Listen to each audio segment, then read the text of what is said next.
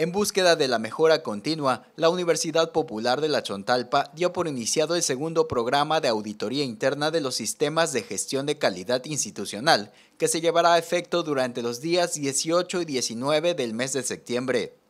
Encabezado por el rector, el médico Querubín Fernández Quintana, y el cuerpo de auditores de la institución, se puso en marcha esta actividad que se sustenta bajo la norma ISO 9001 versión 2008, la cual permite revisar los procesos organizativos a fin de evaluarlos previamente antes de la visita de una casa certificadora programada para el mes de octubre próximo.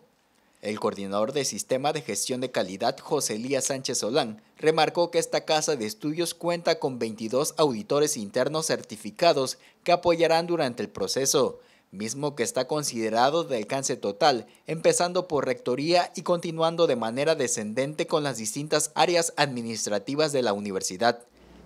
El objetivo primordial es prepararnos para la revisión de mantenimiento, la quinta que viene próximamente,